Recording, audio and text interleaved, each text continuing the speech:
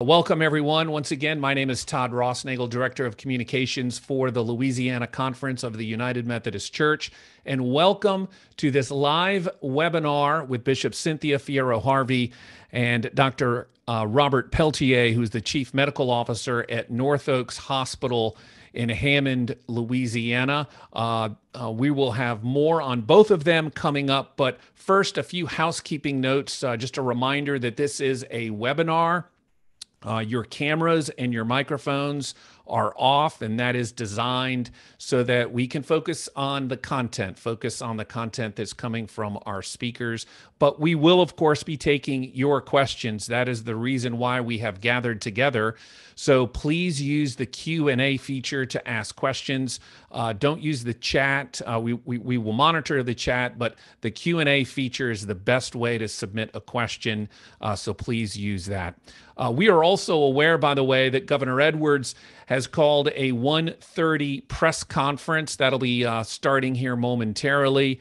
Um, just so that you know uh, at home, uh, we are monitoring that press conference. If anything breaks that is worthy of passing along to anyone, uh, we will, of course, pass that news along. Um, but again, uh, as you know, Louisiana has been declared a state of concern by federal officials, and Governor Edwards has issued a statewide mask uh, guidance. Everyone, no matter a vaccination, um, is encouraged to wear a mask if uh, social distancing is not possible. So, again, we are monitoring that press conference. But we are happy to be here this afternoon to take your questions. We hope you learned something new. Uh, please use the Q&A feature to submit your questions. Dr. Robert Peltier is one of our guests today. He is uh, from the North Oaks Health System in Hammond, Louisiana, in Tangipahoa Parish. He serves as the chief medical officer there.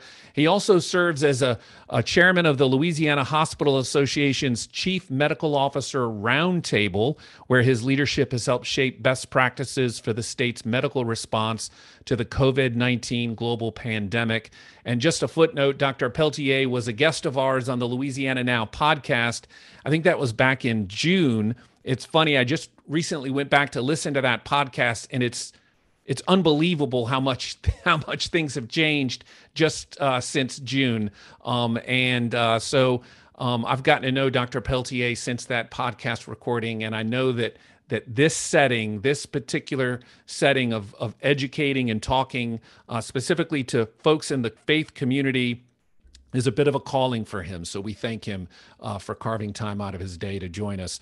And also Bishop Cynthia Fierro Harvey, who is the resident bishop of the Louisiana area here in Louisiana. Um, she is also, in case you do not know this, uh, in connection with her Episcopal assignment here in Louisiana. She is also currently serving as the president of the Council of Bishops. So, with those introductions, I swing it over now to Bishop Harvey for an opening statement and for a prayer. Bishop Harvey, good thank afternoon. You. Thank you. Good afternoon to all of you. Uh, thank you for taking time out of your Friday afternoon uh, to really listen in on some really important information. I'm especially thankful to Dr. Peltier, who takes certainly um, time out of his very busy schedule uh, to spend an hour and a half with us and address some of the difficult questions that we're all facing and to give us an update on uh, where we are. I know there, there are times I was telling Dr. Peltier earlier that I feel like I'm overreacting, but um, I'm, I'm kind of glad that I do sometimes uh, because I, I really believe in, in doing everything that we can to minimize harm uh, to our community. I want to leave the majority of, a time, of the time to Dr. Peltier. So if you'll allow me now, I'll just open us with the word of prayer. And um, I know we're here to hear you, uh, Dr. Peltier Not me. So uh, let's pray. Uh, gracious God, here we are again. But even more importantly and thankfully, you are here. You've been here, you're still here. And for that, we are grateful. We pray today for all who are impacted by COVID, especially this fourth wave families, children, mothers, fathers, aunts, uncles, co workers, and the list goes on. We especially pray for the physicians, nurses, chaplains, and all our healthcare workers who are on the front lines every single day. And most especially those who are often forgotten those who clean hospital rooms, prepare meals, change sheets. They are so critical to the care of those who suffer. So we especially give thanks for them. We are very thankful today for Dr. Peltier and for the time he gives us. Let us commit once again, O oh God, with your help, to love our neighbor and to do no harm, to do no harm. Be with our communities, our state, our cities, and all, all who uh, we are entrusted to care for. Protect all of us, O oh God. Protect us. For this we pray in your name. Amen. Amen. Thank you, Bishop Harvey. Um, we will now, um, if we could, uh, swing it over to Dr. Peltier. Um, and Dr. Peltier, I, uh, I guess one of the best uh, questions maybe to ask to kind of get us started is if you can give us kind of a big picture summary of where we are in Louisiana with cases and with vaccinations. Um, I know we have some submitted questions. We'll get to some of those in just a minute. But um, the floor is yours. Thanks again for joining us. First of all, thank you for having me. And uh, uh, Bishop, your your prayer there when you said "first do no harm," you know that's the first line of the Hippocratic Oath. And so uh, I guess that touches all the providers here a whole lot. And I appreciate you recognizing because sometimes they're uh, they they're not on the top of the list of people thinking taking care, but our environmental services people, our respiratory therapists, all those people contribute to the care that we can provide here and at all the hospitals throughout all the communities. Um, Todd, unfortunately, your question of uh, where are we in Louisiana, it's it's just not good right now. We are. I heard yesterday. Um, uh, Dr. Avegno in New Orleans on Dr. Cantrell's uh, press conference say that we are the worst in the world, which is pretty close, if not close to true. Uh, I think also people forget when we we've sort of lost in the numbers, the individuals that this has impacted. In fact, this morning when I was here, I get here, unfortunately, most days around five o'clock to try to figure out which surgeries we can proceed with and which ones we have room for and personnel. Um, I asked one of the nurses how many cases did she estimate that we've had worldwide in the United States, uh, excuse me, worldwide with COVID, just total number of people that have been positive. Two nurses answered me. One said, uh, I know it's over a million. And the second one said, uh, I think it's around 900,000. And when I told them it was 205 plus million, uh, they, they just kind of looked and didn't believe those numbers. And I, I think we forgot um, that these are all individuals. And when you talk about just in the uh, you know United States, and, we've had 619 and 93 people pass away so far, and that's as of this morning on the Johns Hopkins website. Those are all individuals, mothers, daughters, sons, husbands, kids, you name it. So uh, I I, I, try to never estimate deaths because I want to remind myself all the time that these are all individuals and people. And sometimes when those numbers get so big, we forget it. So uh, what we've seen with this fourth wave has been um, is been something I didn't, you know, Todd, you and I spoke just a few weeks ago, six or eight weeks ago, and at that time I had even taken out the time to do a quick vacation with family and um, you know, I, I, thought we had seen at least it, it, the, the last of the big waves. We might have a small wave, but I would have never imagined that Delta would have caused the problems that it has.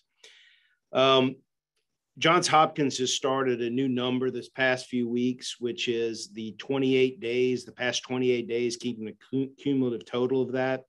And unfortunately, when you look at a number like that, in the past 28 days, 18.5% of all the cases in the US have occurred just in the last 28 days. We've been dealing with this for 19 months. And now we have that percentage. In Tangipahoa Parish, where I'm uh, calling from, that number is 26%, 26 plus percent of all the cases have just fallen in these last 28 days. Unfortunately, here in Tangipahoa Parish, we also had the cases start a little earlier than most other parishes. Have a weekly phone call with the governor, Secretary Phillips, uh, Dr. Kanter, most of the chief medical officers and CEOs throughout the state. um, and we we give updates. And uh, I unfortunately uh, had the parish that was second highest in the country uh, of cases of the incidents in in Louisiana, or actually in the in the country. And so um, I, I I was almost predicting what would happen to my my fellow CMOs and their hospitals over the two weeks to come. Um, and uh, seeing those numbers has been um, problematic for us just to uh, to prepare. In February, our highest total was 68 patients uh, at the peak in, inside of our facility. Uh, last Tuesday, we were at 109. Our seven day average, we've been running 47% higher than our highest peak ever over the past week. And that puts tremendous pressure on our system. And unfortunately, uh, we are not done with rising. Dr. Kanter said on Tuesday he expects things to rise for at least the next two weeks before we could possibly see a plateau. Um, if you look at the Washington State predictive model, which the White House has used since last January as their model, which is really pretty good for only about the next two weeks. Once you get out further than that, the, the mathematics start to get a little fuzzy. Um, they predict that we will peak in Louisiana because you can drill down all the way to a state. You can't get to parish level, but you can get to state level. They predict that our peak will be August 26th. That's with their August 5th update to their model. Um, they their projection is that um, we will need 3,759 hospital beds then. Uh, to give you an example of this projection, they projected that today we'd be at 2784 and our actual is 2907. So they're a little bit underestimating from August 5th where we would be. We're higher than that. So uh, we certainly are prepared to, you know, um, keep taking on patients as best we can over the next couple of weeks um, and we and every entity is pushing vaccinations in Louisiana. Uh, the total vaccination rate is about uh, 45%. We've got 4.6 million residents in Louisiana, 4.6 plus.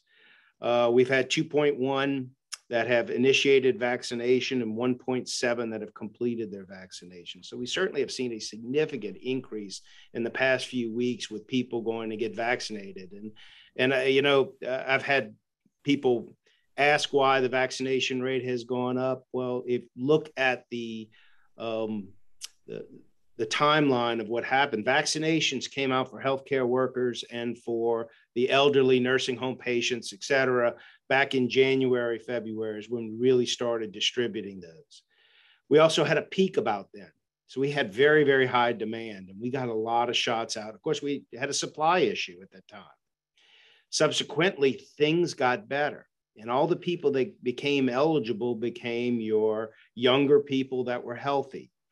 And like everything we do, and probably everybody that I'm looking at right now will shake their head and go, yeah, I put off my dentist appointment. I put off my, my, my yearly examination with my physician. I put off cleaning the garage. We tend to put things off that don't have to be done today. And subsequently, when we saw another wave, everybody said, uh oh, I need, and the, the fear came back again. But unfortunately, vaccinations today helped me in the hospital out in about um, six weeks to two months.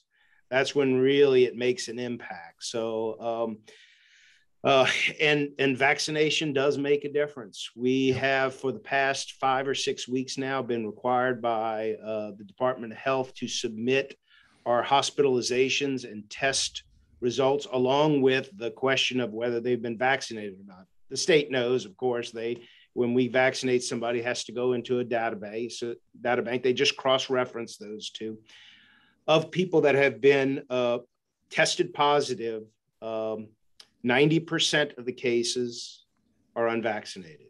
91% of all hospitalizations are unvaccinated, and 83% of all deaths are unvaccinated. Let me comment on that last number for just a second 83% of deaths. Remember that the people that got vaccinated in the highest percentage were our elderly. In fact, if you look at the graph on the LDH website, with every decade of life, you see an exponential rise in the percentage of people that have been vaccinated. Subsequently, you know, the chronically ill and the older folks, if they eat, get reinfected, even if they've been vaccinated, and you know, those people don't take vaccines very well, build a good immunity in the first place, as as you know, historically, um, when they have a small insult, it, it can be devastating. So, you know, that's why we see flu kill the elderly every year. It's not. I, I generally will survive the flu most people under the age of 50 and 60 don't have any issues with the flu, but it still kills lots of Americans and worldwide every year. Um, here at North Oaks, I could tell you uh, today, in the last couple of days, we've seen a little bit of a plateau. Um, I have 81 official COVID patients today. I actually have 91 in the hospital, but I have some that have been here more than 20 days. So we take them out of isolation at that time. So on an official state uh, website. Um, we have to report 81, but I still have 10. And by the way, eight of those are in our intensive care unit and have been for a long time. So you can imagine that's still a resource issue for me and, and, and our, and our staff. Um, what do we had to do at hospitals? And this is true of our hospital as well as every hospital in the state of Louisiana that's dealing with these issues. Um, we stretch staff, that's the first thing we do. Uh, when I get to where stretching staff isn't enough, I start looking at the things that I can do that I don't have to do today, kind of like getting vaccinated. If I didn't have to do it today, I put it off. I do the same thing here in the hospital. And so I have to reach out to all my surgeons that have cases coming up and ask every single one of them to look at their list of cases coming up in the next few weeks and ask them which ones can be pushed back. Some examples of that might be a female who's had dysmenorrhea, bad bleeding for a number of years, and is ready for her hysterectomy. Her not getting the, that hysterectomy is a lot less worrisome to me and that physician than somebody who needs a bypass surgery, for example. So we have to have those decisions on a weekly basis about which surgical procedures we're going to be able to perform. And why do I have to reduce the surgical procedures? Because I've taken, for example, the nurses that work in my operating room, the nurses that work on the same day surgery unit where people come in and deployed them in other areas of the hospital that need them. Places, by the way, they're not used to working and certainly feel uncomfortable and push their nursing skills to the limit. So, um, you know, we we've even had to we've gotten to the point where a couple of weeks ago we had the opportunity we reached out to the um, state and federal government to ask for help because there are no nurses to be had everybody in the country is dealing with this issue so there's not an excess of pool sort of for hire nurses that we right. usually have during normal times to supplement when we have more patients come in they just aren't out there uh, we were awarded, and they came a couple of days ago. United States Public Health Service team, a bunch of commissioned officers, nurses, nurse practitioners. I even got three physicians that are here helping us manage these numbers of patients. And the other thing I would tell you about the numbers of patients we have here is, and this is true of a lot of my um, uh, other fellow sister hospitals and throughout this, the the area. Um, uh, a COVID patient is not a normal patient for us to take care of. The resources that it takes to follow these patients are significantly higher, almost twice as much as a normal patient. So that means if I had the whole place full, I need twice the number of staff. So you can imagine we are forced to deliver not the care we want to give and the care right. that every patient deserves, but we are forced to give care that that is thin and that whenever we get thin on care, that leads to we don't call it mistakes. It is if you usually have a nursing ratio of one to four, and I'm making you go one to six just so the patient has an RN. It's harder for them to see that patient over and over and catch the subtleties of a patient change in condition. So, um, with all of that, I, you know, I, I, wanted everybody to know when they see um, the hospitals and everything on the news about what they are truly experiencing. And because if you drive by this place, it looks like any other day here. Till you get inside and you get inside uh, actually up on the floor. In fact, when you walk on our front doors, it looks a lot less um, busy than it does on does on normal days. One reason because I've got half the visitors in because we don't allow visitors with COVID patients. We just, it's too much worry of risk of spread to the community and to our nurses, which I can't afford to have them out. I already have an average of about 50 to 60 nurses out sick themselves or waiting for tests to come back. Right. So that's just the state of the union. I know I probably took more time than we, we allotted, but hopefully that'll answer some of the other questions that we may get to as we go. So sure, uh, absolutely. I, I want to spend time doing questions, and I do want to say before we start questions, when we do get, I know Todd, you have some that you're going to ask me, and we'll go ahead and answer those. When we get to three questions, please challenge me with the questions that your parishioners are challenge you with, the hard ones, sure. and I'll give you the best answer that I can. Well, let, let's go ahead and start with um, a question that was just submitted. Um, the, the question is based on all the data that you just gave us, um, the question is should we be holding church, uh, you know, live in person worship? Um, and and I think that's a that's a question. You know, we all have different forms of worship. There, you know, church will continue, obviously. Um, but what are what are your what are your thoughts on gathering together in a sanctuary for worship on a Sunday morning? Yeah, it's the same thought that I had this week when I was asked to comment on the downtown developments. We have a, a, a night out here called Hot August Nights. You know, we got football games coming up. We have the same, and the opinion is the same. Is that right now, with what the hospitals are experiencing, the more we can discourage big group meetings, the better and so, you know, especially having a, you know, an event like Hot August Nights where people are outdoors having cocktails and walking around during downtown, uh, it, it, just, it, it's a setup for uh, a small amount of spread. And I just don't have the bandwidth right now to expand for new cases. And so um, if anybody asked me about a gathering, I would say, if you must have a gathering, you got to modify it some way you know certainly zoom meetings and those kind of things are great ways for people to collaborate but um, it, it is very difficult. Inside measures are worse than outside measures just because of the environment and being able to spread um, uh, uh, respiratory droplets. Uh, when you're inside a confined area it makes it a little bit harder to do that but it's uh, uh, but i understand it's also august in louisiana. Hard right. to hold outdoor events well, uh, and and so let me let me just you know gameplay this for for us here for for our audience. If you know maybe setting aside worship on a Sunday morning, which is just you know it's open and and and and, and you know open to anyone. If a staff meeting or a Bible uh, class and everyone is vaccinated is it still safe is it safe for all vaccinated people? Let's say everybody on staff is vaccinated. Could they still hold in-person gatherings in a small space?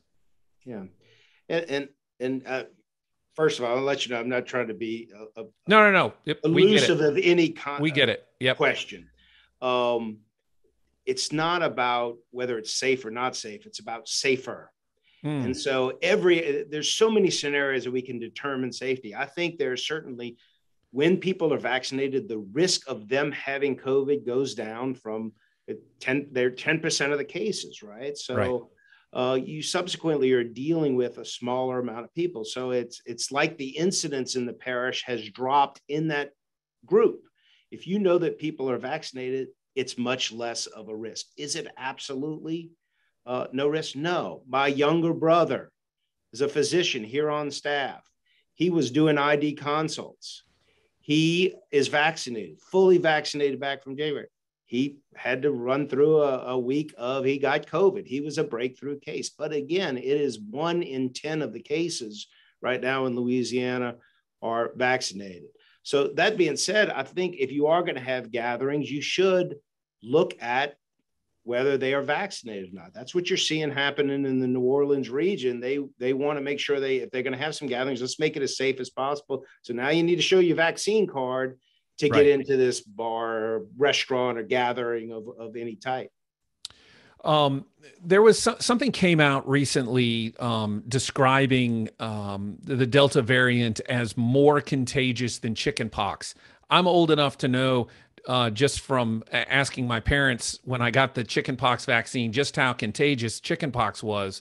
Um, the, the question was just asked Are the modifications of masking and spacing, um, generally speaking, are they safe for the Delta variant, which has been described to us as even more contagious and can spread faster and quicker than the previous variant, if that makes sense?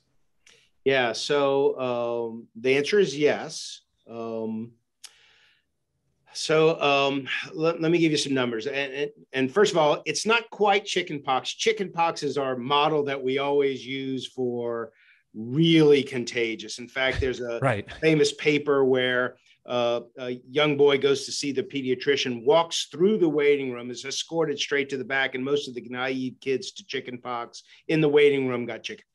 Right. I mean, it's right. that contagious. Yeah. So uh, you know, you're talking about massive numbers.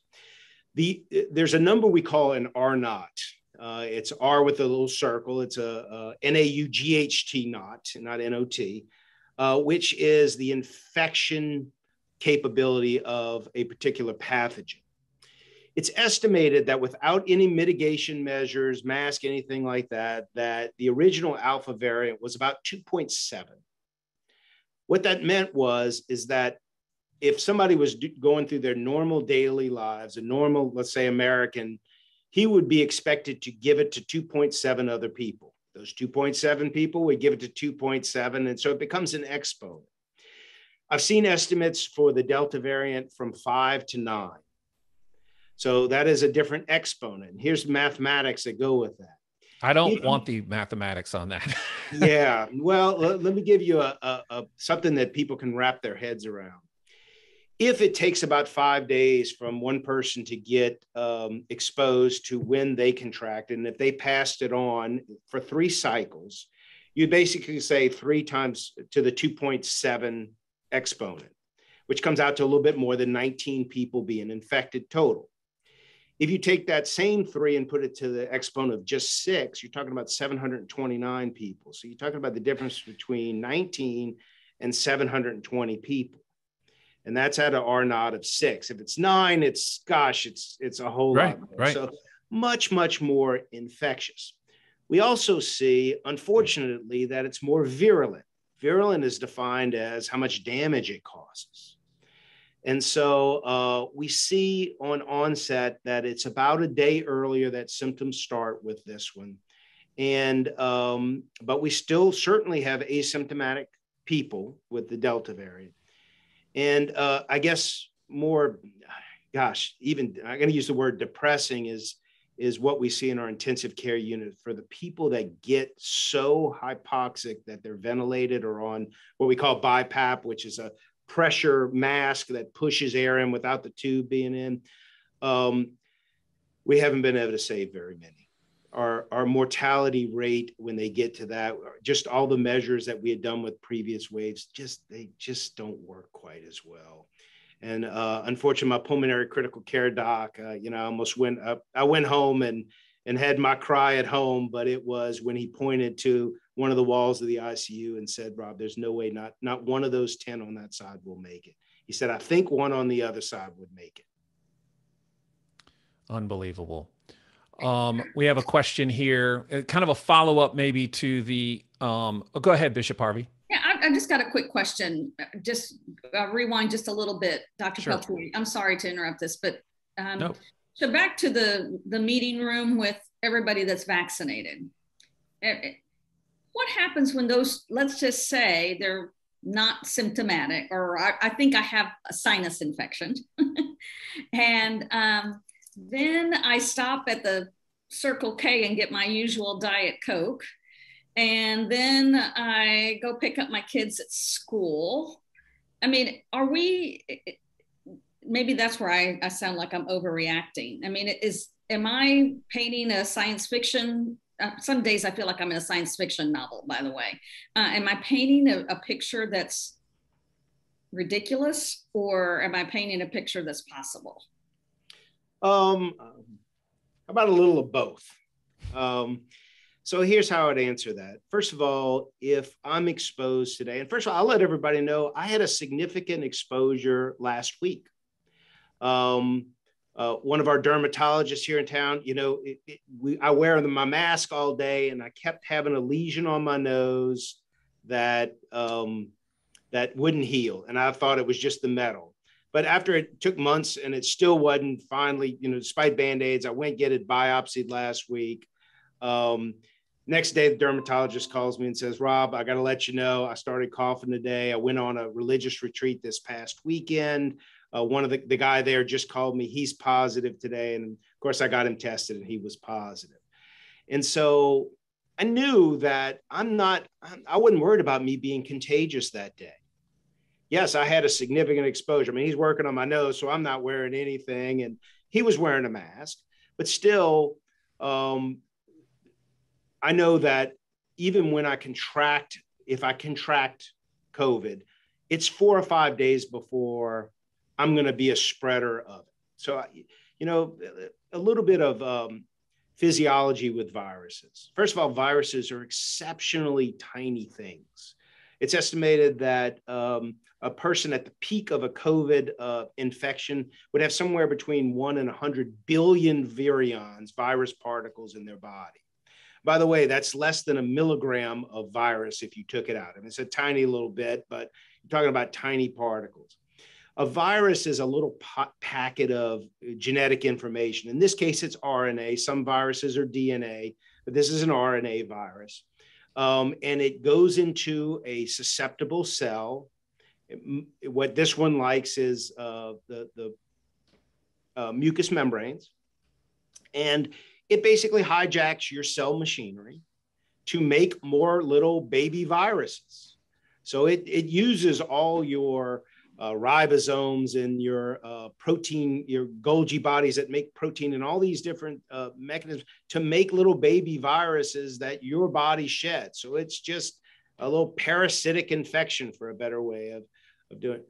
But remember that one, you know, let's say you have, you know, a couple thousand viruses get in your nose, they have to replicate and that takes some time and then they have to replicate. And again, it's an exponential thing. So it's a few days before people are shedding enough virus right. to pass it on.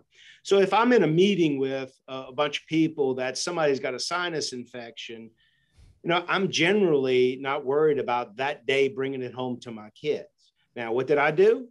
I went home when I found out that this physician called me and said, Rob, I had an exposure. You know, I'm going to go get tested. I said, I immediately, you know, called my wife and said, listen, we're going to, we're going to do the thing like we did before when I was first working and we didn't have a clue how it spread. And that's, I sleep in one room, she sleeps in the other. And there was no hugs for a week for me and my kids. I tested once just to halfway through at five days just to make sure I didn't turn positive. I did smart things, even though my risk was exceptionally low. So again, everything's about risk reduction. When you have a group of people that are all vaccinated, the chance of one of them having a problem is less than if you mix people that are vaccinated unvaccinated certainly a whole lot less than if you mix all unvaccinated people together we have seen the results of the unvaccinated be a problem here at north oaks one of the first ways that we knew delta was here was when we had a family of four we had a mom, two children, and a husband of one of the children. So a son-in-law of the of the mom. The, the girls were all in the intensive care unit. The uh, husband was in our intermediate care unit. He had lung cancer and ended up passing away more from the complications of the lung cancer, but he definitely had gotten COVID. And I lost two of the other family members. Hmm. And that was unusual. But what it also kind of showed me is that unvaccinated tend to be with unvaccinated. They tend to be in families, they tend to hang out in same groups, they're like minded people. And so when you have that, it's a setup for uh, the ease of the virus to spread. Herd immunity is all about does the, does the virus have an opportunity to go to a new host? If it's in a room with a bunch of vaccinated people, it's a whole lot less percentage than if it's got a mix or all unvaccinated people. Being naive, and I want to say the I like to use the word naive a little bit more, uh, immunogenically naive, because people that have had COVID previously probably have some immunity. We know they have some immunity, but some still break through even with the new variants out there. But they are at much less risk than other people. Still, by the way, I want to make sure in case this um, that somebody misinterprets this, there still is benefit via a study that came out last week that if you have had COVID before, you benefit from vaccination. Right. Uh, you know, the CDC's been talking about that for a while, but now it's it, it, we have uh, data to support that. Dr. Peltier, um, we have um, we're trying to be mindful of our time as well. I, I hope you can stay with us because we're starting to get a lot more questions. Um, but let me get to uh, the effectiveness of masks. We're getting, uh, we, we just had one question that was still getting pushback on the effectiveness of masks. Um, what is your advice on the effectiveness of masks? And maybe a follow up to that also as a previous question if we're socially distanced wearing a mask, can we sing? So if you could maybe answer both of those. Sure. I, so, I know we. Uh, not yeah. can we sing? We obviously we can. Should we? Is is more. Well, I, I won't sing because you will definitely say that I can't sing. That's but that's a different um, tone issue. I'm right there with you. So um, so you have to understand how transmission occurs for most situations. Um, there is a difference between what we call droplet precautions and aerosolized precautions here at the hospital. We have different uh, stops on the door about what that means.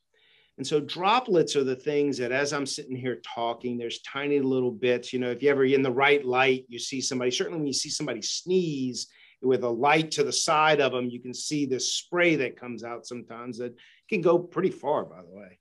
Um, and, and that that is droplet and so uh, we have learned with time that some some viruses for example droplet means that if i cough onto my desk it can sit there for a while. It's not the primary spread of this is via surface contact. It doesn't survive very long.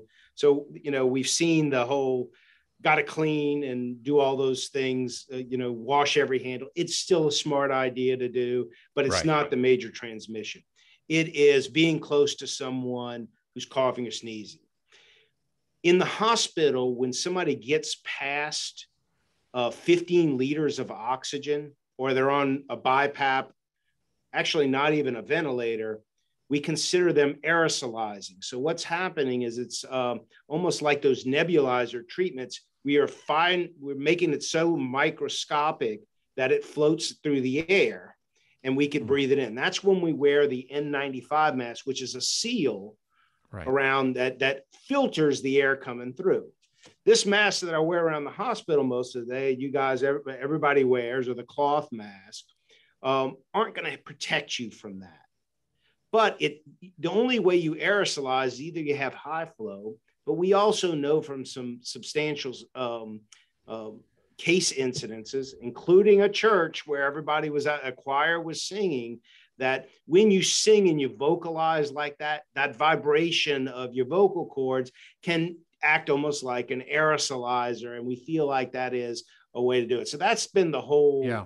concern about the singing part of it. Sure. Sure. Um, and so, you know, being if you're gonna you're gonna have some singing, probably open to air is your best area and and the mask that we wear you know is, is really still mostly not for our benefit this mask is for me walking around in case I cough or sneeze and happen to have it as I'm passing somebody or near somebody or speaking with somebody. I can reduce the respiratory droplets that may be coming out of my mask. So I wear this for other people more than myself. So and that that's would, sort of the lowdown on the mask. Sure, and that would lead to a, a question that was also submitted here, um, asking you to speak to the current risks and precautions needed for our unvaccinated children. Masks being one of those precautions, right? Yeah, uh, and again, you know, kids are tough because kids don't like to wear masks. At least uh, I've got teenagers. I've got a 13 and a 16 year old. Um, they've gotten used to it. It's amazing what kids can get used to, but try to convince a three year old to keep a mask on. Well, you know, good luck with herding that cat. That's just not probably not going to happen. So they are in a you know a different group, and they can't be vaccinated. Under 12 still is not eligible. We, uh, gosh, I'm, I, I keep hoping that we see those studies come out soon. But so many people are worried about vaccinations that kids that young, we just we couldn't even enroll that many in studies. It took a while to get the data that we needed, and we wanted to make sure, sure, sure that at least we had good data on the adults with the initial studies. So uh, that being said, um, you know, kids, if you can get them to wear masks, that's great. The best thing to do is just try to keep them as far as away away from people. And let me tell you, there's nothing worse than a grandma who wants to hug her kid and can't, or yeah. grandchild, sorry, sure. and can't. I mean, that's that force. I don't know what stops it. Yep. Um, and by the way, uh, a quote from Governor Edwards in his press conference just now, there is nothing that pre- that prevents the next variant from being worse than Delta. So um, that would lead to a question. I think some people are beginning to ask themselves: Is are the are the the unvaccinated leading to Delta? Is there another variant that is potentially brewing as a result of the current state that we're in? Sure. Now, remember there's lots of variants right. that are out there. And so let, maybe it helps to explain a little bit why a variant occurs. We talked about the numbers of virions that are out there billions.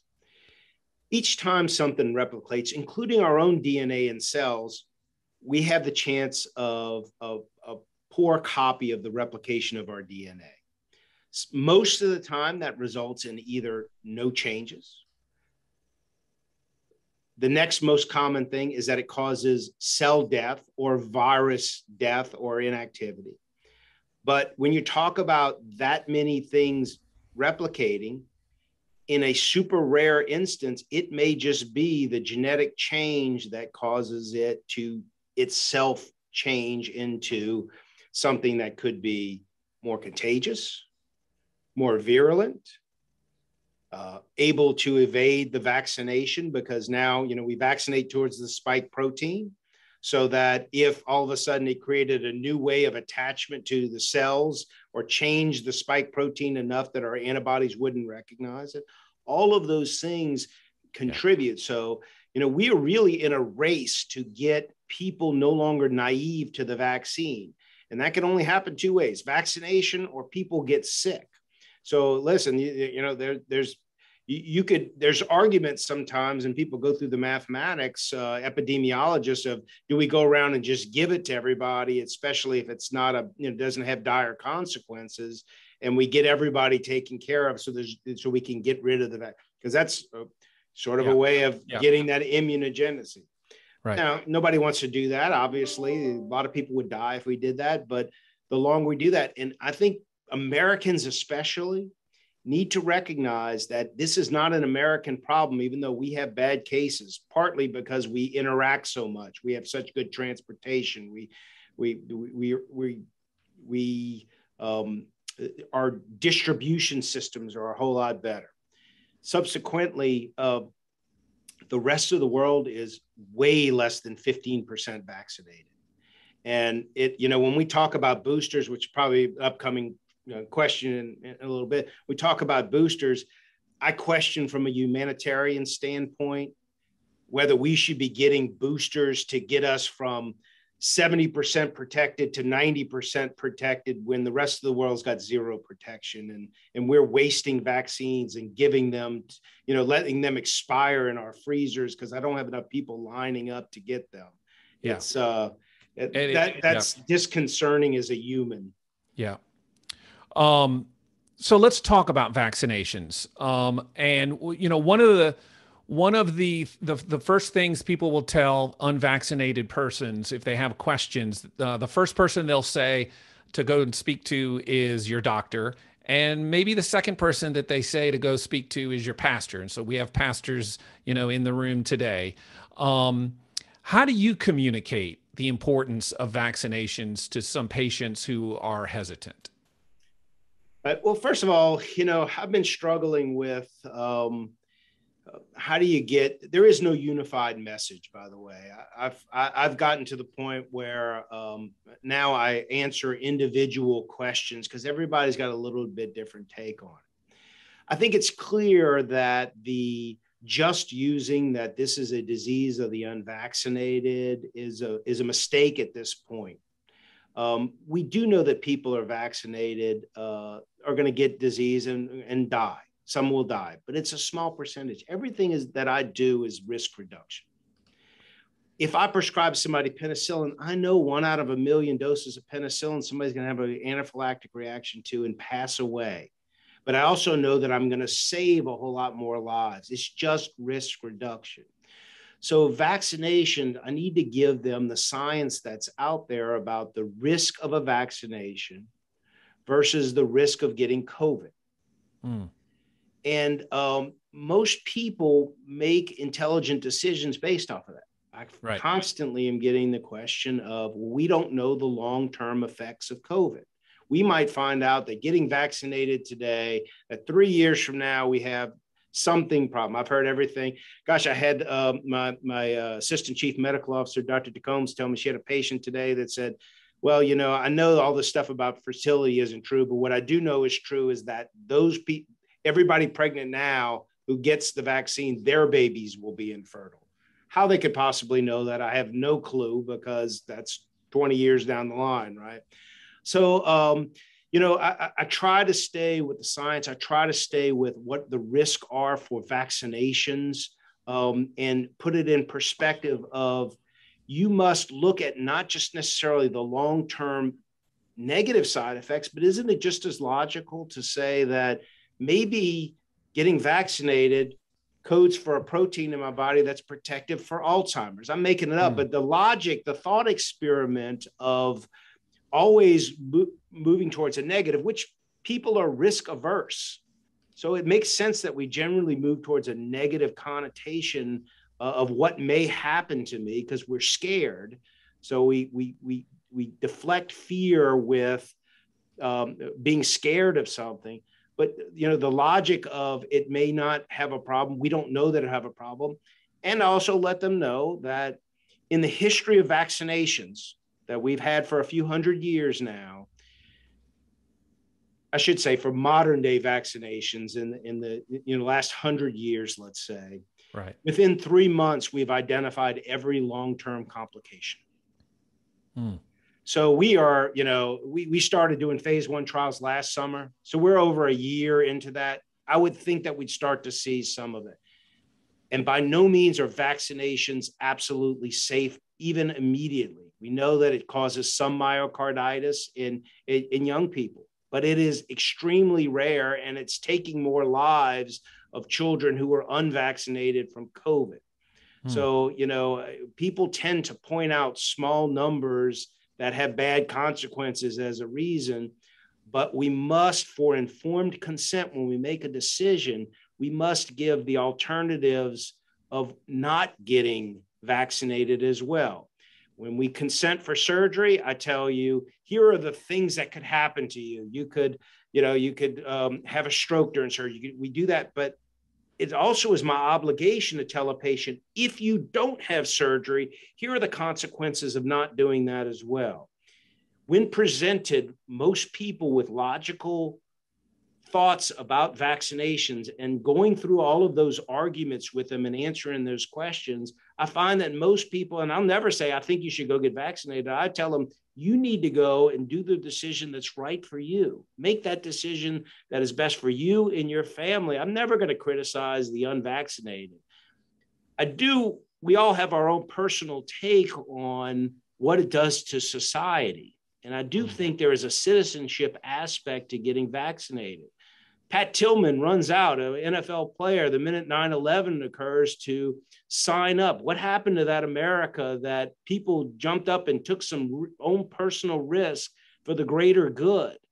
Um, you know, when somebody is giving me an argument of, you know, I, I'm going to be fine, even if I get COVID, I'll make it through that you know, sometimes I, I, I, try to politely as best I can, even though I'm a little bit irked inside, tell them, well, what about the fact you may pass it to somebody who brings it home to their mother who who does have complications from it and passes away, even if she's been vaccinated. That's just, you know, uh, it, it's just self-centered thinking sometimes that people forget about that consequence only relating to how it affects them or their immediate family.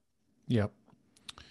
Um, we're getting some questions about um, positive cases, um, whether the, whether you're vaccinated or unvaccinated, and the length of time that you'd spend away. Um, what is what is the time for returning back? Because um, we, we always get a, is it 10 days? Is it a week? Is it five days? What is it different for those who have been vaccinated? Is it different for those who have been, who have not been vaccinated? Okay. So, um, a lot of questions in there, so I'm going to break it down. Um, upon exposure, we feel like, uh, in general, from the day that you are, are have contact with somebody who is infected, it's generally about 14 days that somebody is not going to be spreading illness at that time, assuming that they con- contract. Now, remember, the first four or five days, you're generally asymptomatic.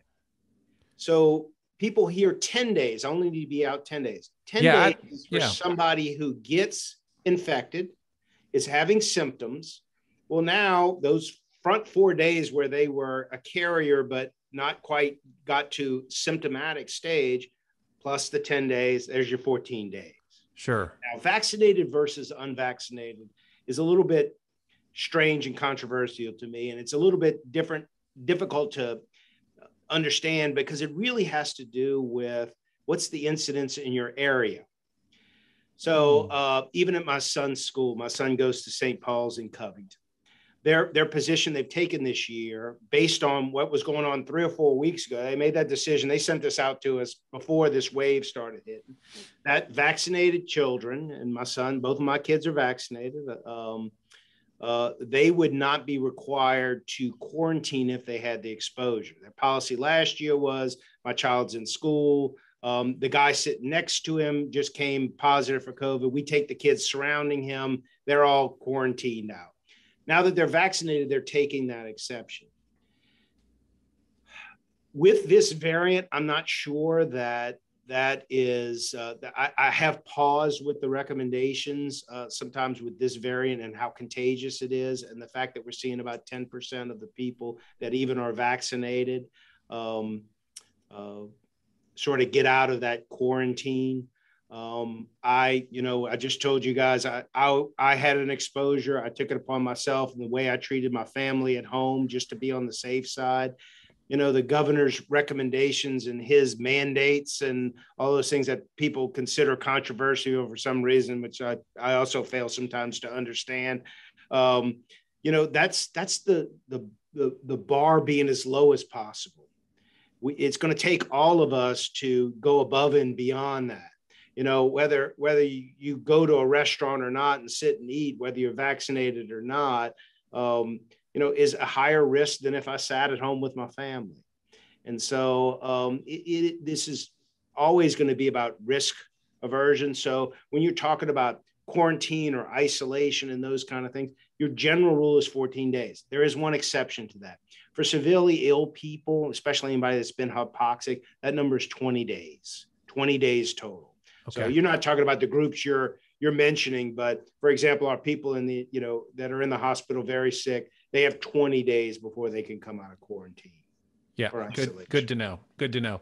Dr. Peltier, let's put you in a church meeting uh, where uh, the group is uh, discussing gathering together uh, for worship. What are some other, we just keep getting questions, adi- additional med- mitigation measures that could be taken or should be taken uh, for worship? Remember, um, you know, we, we've got that moment, you mentioned this briefly on our podcast, you know, we've got that moment where we pass the peace.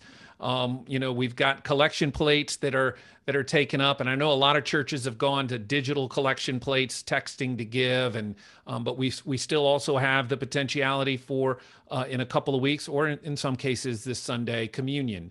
Um, so, so, what are some high touch points that we need to be concerned about?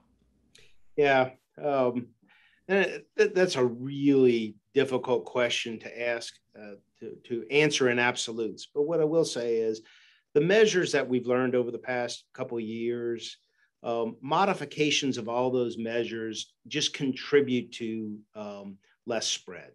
And so I think every individual organization is going to, and every every type of meeting can try to, you know, um, a good friend of mine who works down the road taught me woodworking, Terry Wild, and what he said was, when it comes to safety, the first thing that I do before I push that wood through a machine is I stop and I say, how am I going to hurt myself?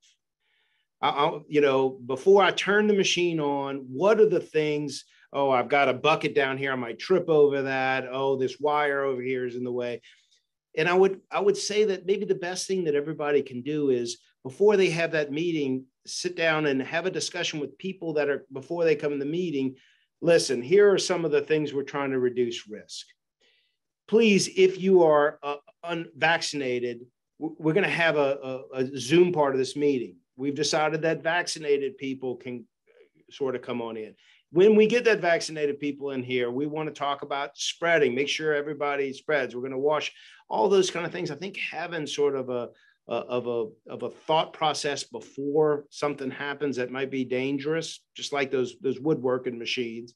Um, you know, thinking through the process of how can I lower my risk. There, there is a risk versus benefit in all of this. And, you know, I don't know how much benefit I got by not hugging my wife and my kid for an entire week, other than I felt good about maybe not exposing them. But any it was it was a measure that I put in place with my family just to be a little bit extra safe. I would take that same idea and apply it to how you each perform your own church services, your meetings, your Sunday school gatherings with the kids, all of those kind of things fall into how we can potentially reduce the numbers of transmissions.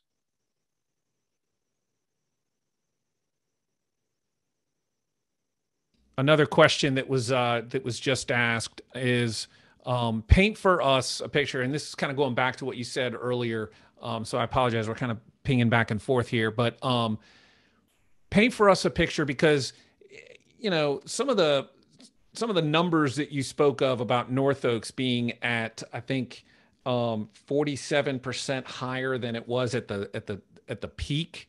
Paint for us a picture of the impact of the system collapsing and, and, that's a that's a that's a negative word but collapsing due to the um to, to covid running out of oxygen beds um paint for us a picture of how that's going to affect other things in our health systems?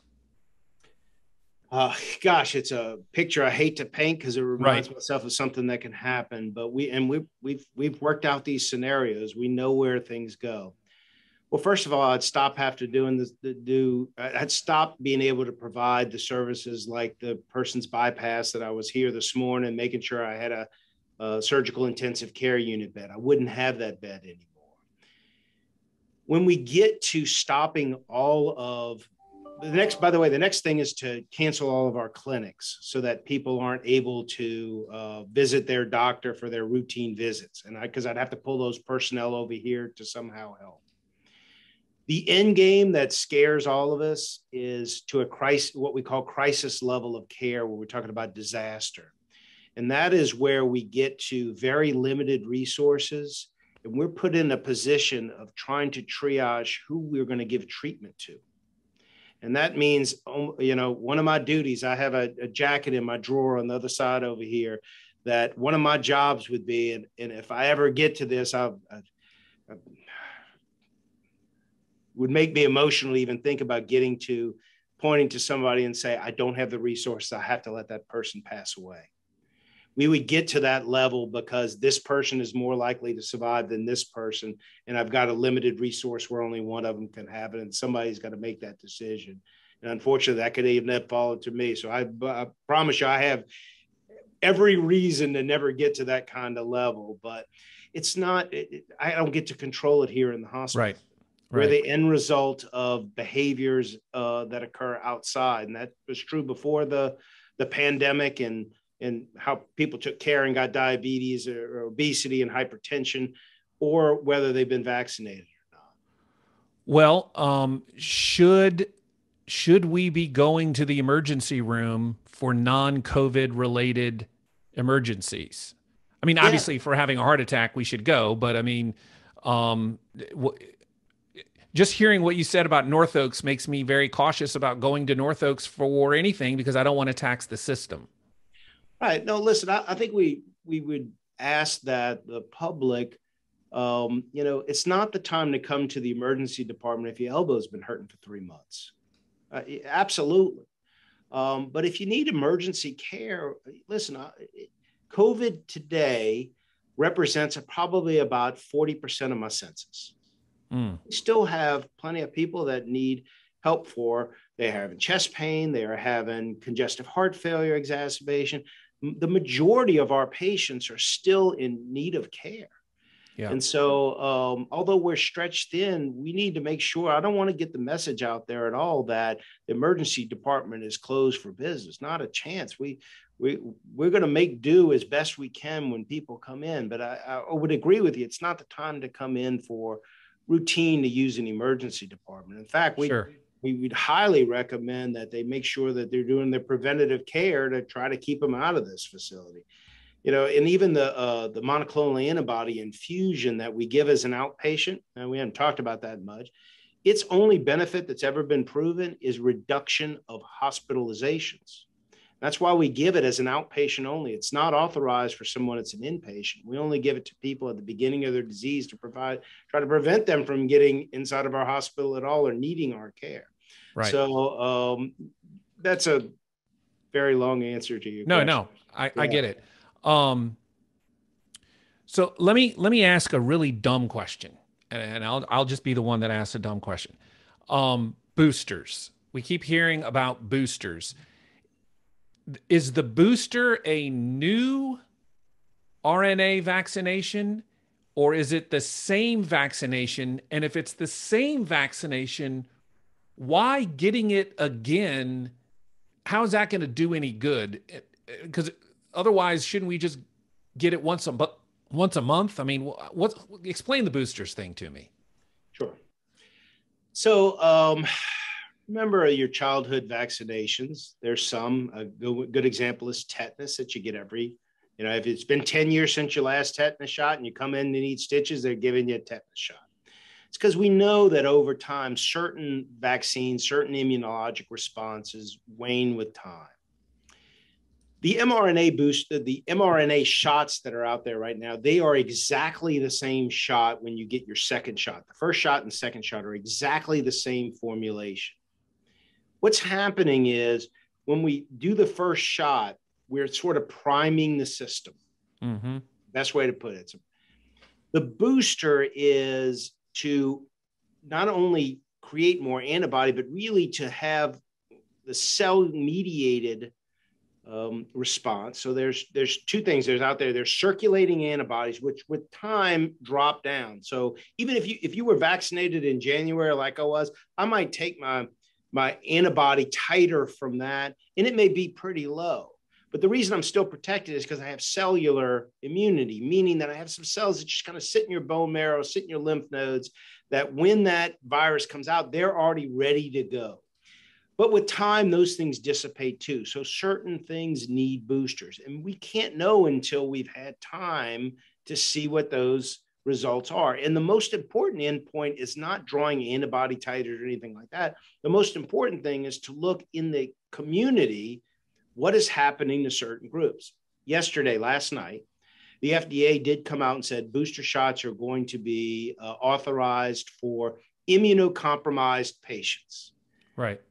I've spent the morning on the phone with my physicians explaining that when you read what the FDA said, is that they're defining right now immunocompromised patient as solid organ transplants, meaning I've had a heart transplant, a lung transplant, or the equivalent. And that's our most immunocompromised people there are. I mean, they have to be because they have a foreign um, organ in their body. So we're trying to get clarification about immunocompromised because in the internal medicine world where I come from, diabetes is an immunocompromised state, cancer is an immunocompromised state, anybody with a rheumatologic condition is an immunocompromised state, being older is an immunocompromised state.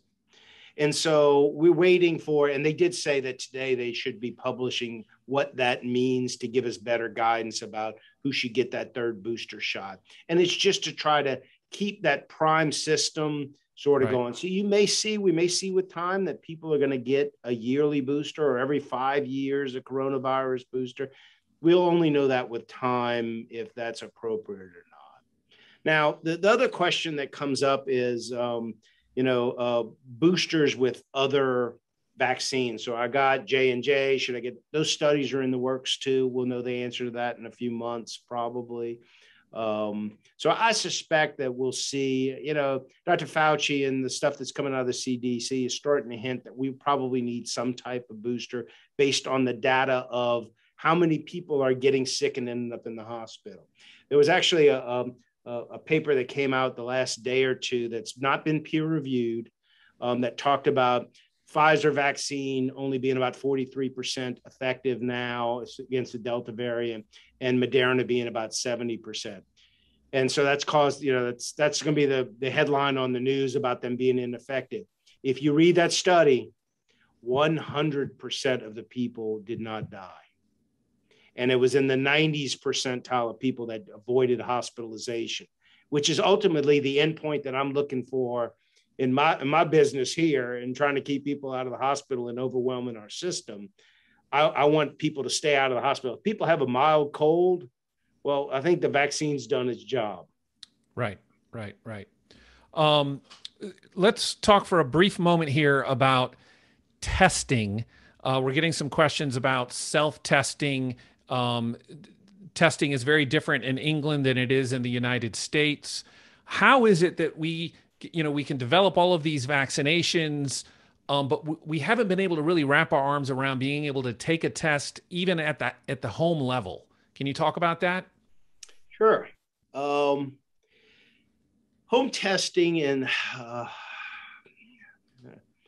I'm going to try to not get too technical in the in the science that's out there. Um, there's something called pretest probability um, that has to be factored into um, how valid the results of tests are. And so, um, if I have a 75 year old male smoker who has a family history of heart disease and I'm putting on a treadmill, his pretest probability is exceptionally high compared to a 17 year old girl who's having a little bit of discomfort in her chest, who's got no family history and has never smoked or anything like that it's so rare that somebody like that would have it that even a positive treadmill test is most likely a false positive test. So if you follow that logic, that's the problem with some of the over the counter home self test, which by the way, I took one. That's what I took for this past week. I went over to Walmart.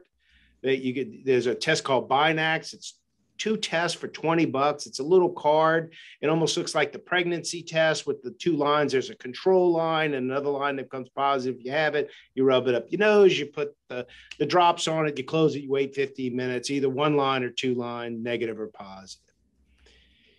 In someone who's asymptomatic, especially if it, they're at a time when the incidence is low, that test is almost useless because its its positive predictive value is so low. And I'm trying not to get too technical and and and make everybody confused.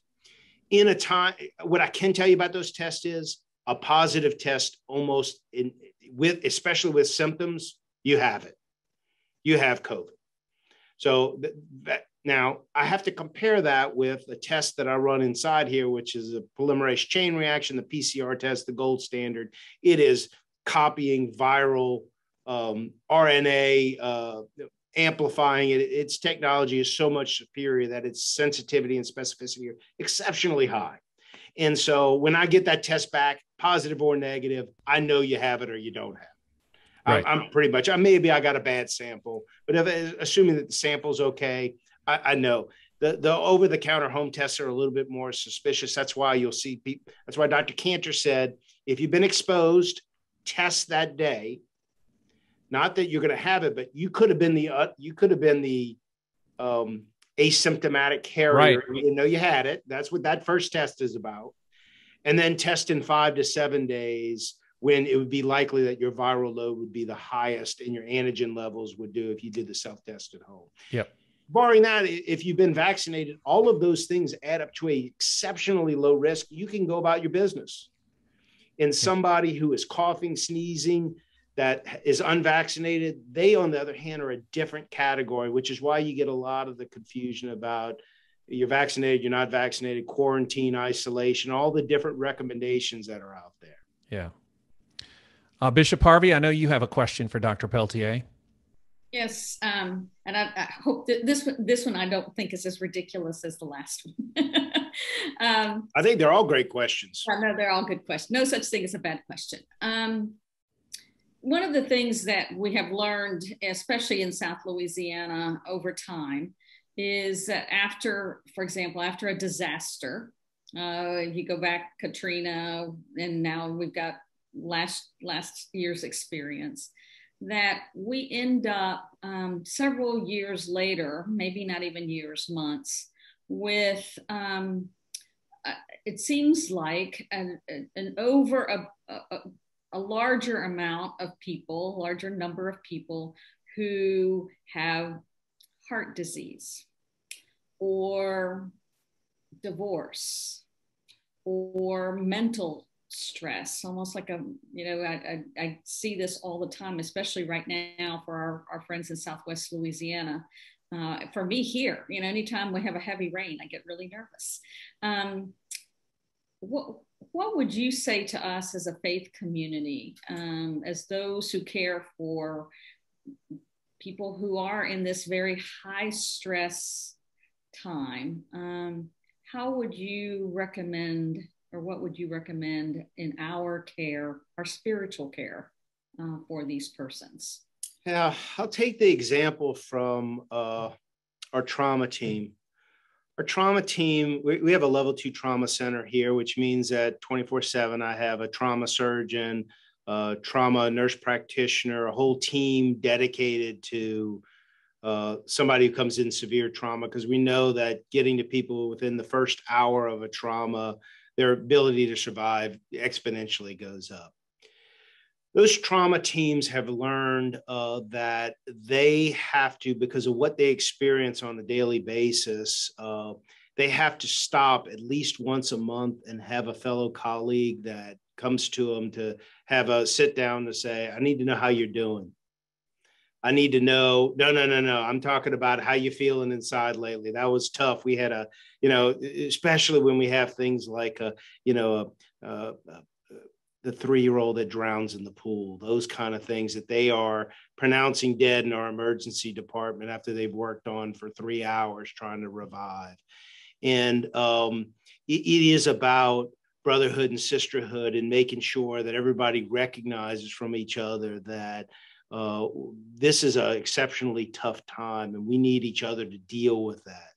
You know counselors you guys uh, you know pastors are counselors. You know they they they may not have the social degree and have studied but you guys have studied along those lines too and they're the people you're the people that they're going to reach out but they need more than you. You can't serve your entire population to that detail where you're sitting down with every member of your congregation once a month during these times to go how you're doing? I know you we all do the best for you. You guys are thin too in these these times but you know encouraging everybody to have a buddy outside of their immediate family somebody that they can um you know really lay everything out on the table and tell them how they're feeling and and um and have that um solitude. I have i have a, a person here. He, he works down the hall from me um, he's our hospital attorney that I go down and we just kind of have, you know, uh, how you doing, how I'm doing. You know, he, he's not experienced. They they everybody checks on me. I had, you know, it, it meant so much to have um, uh, last week um, a couple of the um, our service line leaders. Uh, called my wife. I didn't know about it. When I got home, they had brought me, but more importantly, my family um, dinner because they recognized you know that I was struggling and I and that they were struggling because they had seen so little of me. I'd been working so many hours that it's those kind of things that keep our mental health uh, refocused on the problem and recharged. I was good for another week before I started even getting emotional because you just had that high, that you know, refilling that that emotional drain that you know that uh, the emotions that had drained out of you. You know, you had you had a boost, realizing you're not in this alone. You know, none of us are, and but it takes effort. It takes active effort to make sure that people know they're not in it alone because that's what we find anxiety gets the best of people when they're dealing with it alone well, and as clergy, um, we are in a covenant relationship with one another um, and reaching out to one another and offering whatever care we can, uh, I think is probably as, as important now as it has ever been. And by the way, do no harm. Not only is it part of your what Hippocratic, what do you call that oath? That Hippocratic oath. Thank you. I thought that might be it. Um, but it is our founder, John Wesley. Um, that is one of our tenants, primary tenants, is to do no harm. So we share that. And to me, that's do no harm, even when it comes to us, right? Um, especially uh, because if we're not, um, if we're not healthy enough, we can't care for other people. So uh, this is for the clergy who are listening in. We've got to offer care for each other um, because um, we've got to be healthy enough to take care of our our people, uh, and we can't be if we're not caring for one another. Thank you for that for uh, from both of you. Um, a couple more questions here. Um, there was a question that was submitted. Um, Dr. Peltier, um, there is, you know, a lot of people say if I get COVID, uh, I'll go to the hospital and they will they will treat me, and there are a lot of treatments available. Um, but the question is, isn't it true that the treatments are less tested than the vaccine? They're safe, but less tested. Yeah, sure numbers. Um, you know, a couple weeks ago, uh, the governor's press conference. Actually, I think uh, may have been just this past week. Days are blurred for me. I'm sorry. Um, you know, he had three physicians and he had uh, Michelle Sutton, our CEO, um, at that press conference. And Dr. Uh, Catherine O'Neal, who's uh, my counterpart at the Lake, um, there was a question at the end during the Q&A where somebody talked about the medications because she had mentioned that uh, one of our uh, better medications for people that are starting to sort of spiral downwards is something called Actimra. It's a that's the brand name of it. Um, it's a it, it's an immune modulator, and we're, we're we've run out. You know, there's just the supply based on demand has has gone away. And she had mentioned that, and the, the reporter kind of said, "Well, what are you going to do now?" And she, he said, "Well, you got to first understand that most of these medicines have very small studies. They showed marginal benefit, but we got nothing else to offer, so we give it. Steroids, certainly in later disease, that's absolutely been proven to be beneficial. And I think what she said that was most poignant was what we do is we support your system and we hold your hand and we hope you make it.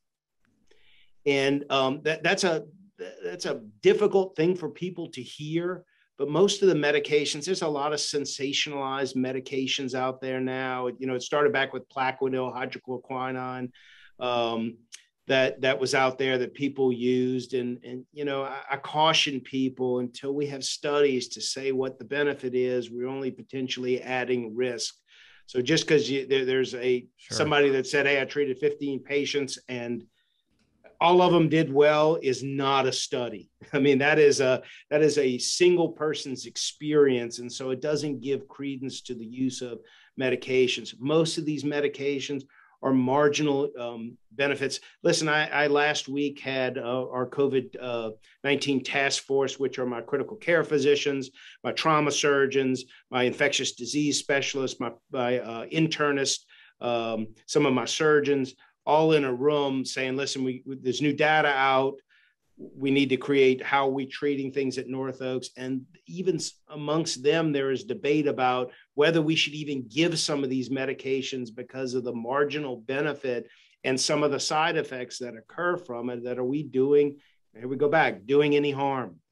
You know, first do no harm. And so it is really difficult for us because we're reaching out to anything when we see these people die and people can't understand. Why don't you just try it on them? Because I don't know if I'm doing any harm and we you know the studies are not there to say it's any better and sometimes we use it sometimes we don't we don't certainly limit those things but you know we've certainly also dealt with patient patients that have come in toxic on some of the medications that people are giving out there because they read something they go they know they can get there's one popular medication out there right now that people are getting that you can get at a feed and seed store for animals it's an anti-parasitic and people are going get it from the feed and seed and taking it incorrectly. We've already had a toxicity.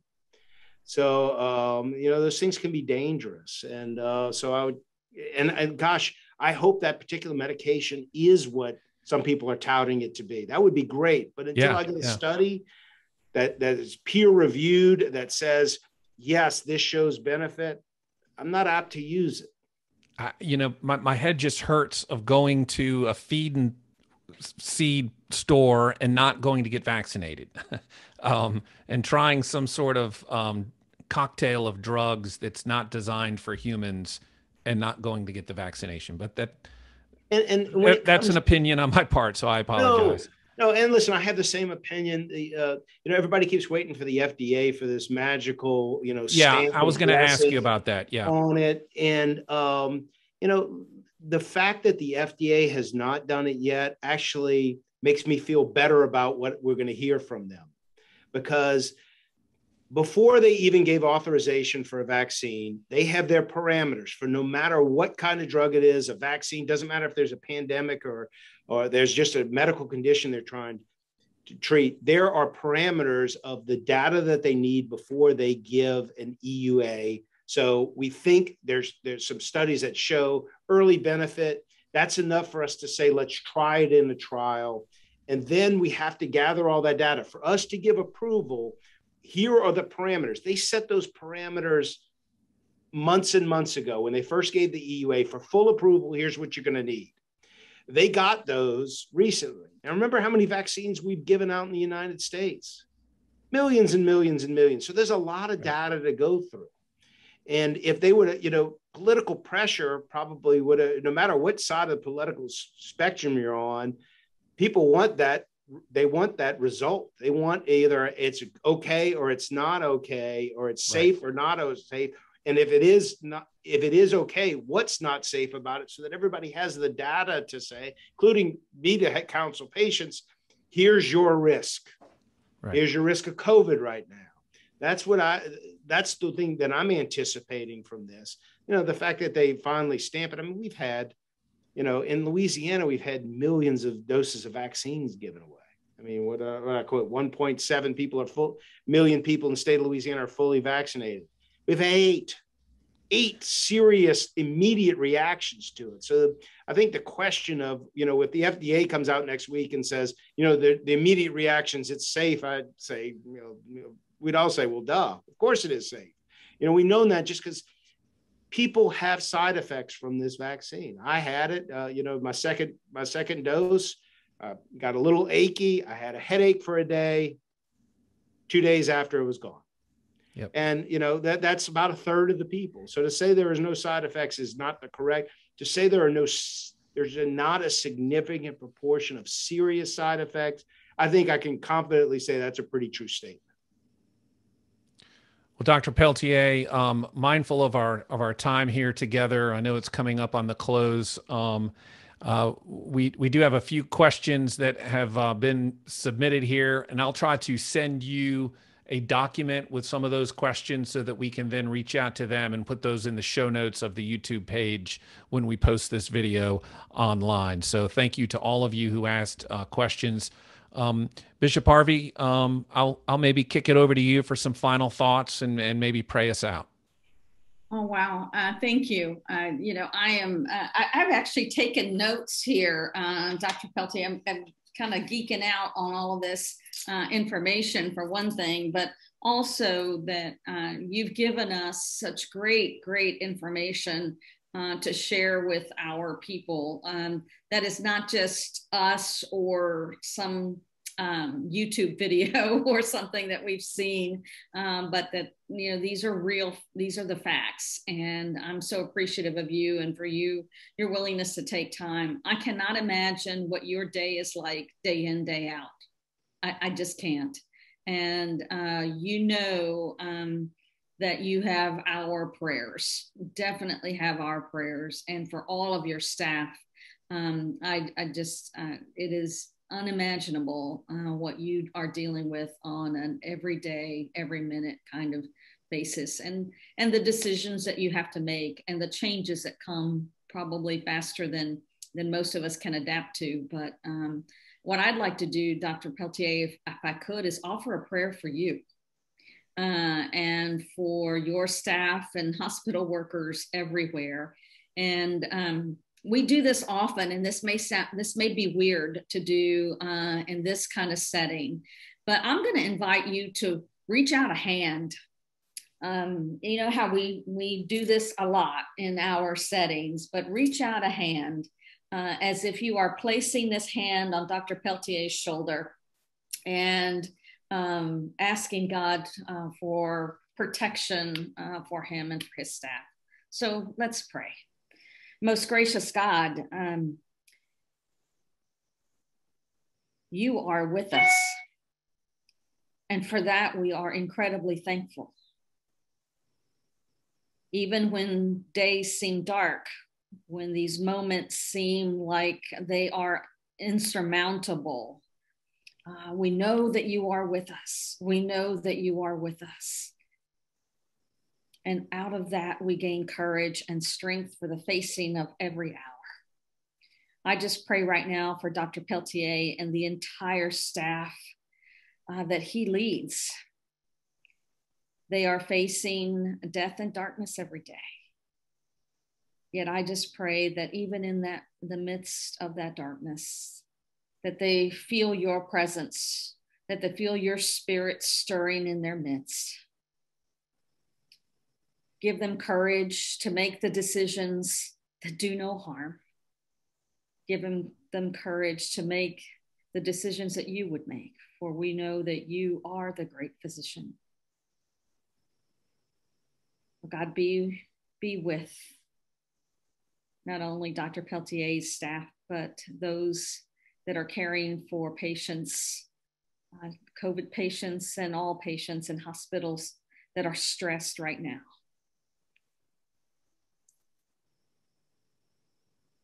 Give them grace and give them peace and give them courage and strength today and all of their tomorrows. Amen. Amen. Thank you. Thank you, Bishop Harvey. Thank, Thank you, Dr. Peltier. Thank you very much. All right, so this uh, this concludes our time together, and um, thanks again, Dr. Peltier. Thanks, Bishop Harvey, and thanks to all of you for joining us. We'll post this entire conversation on our YouTube channel, and we'll share that out on our social media channels as well. Thanks again for joining us, everyone. Bye bye.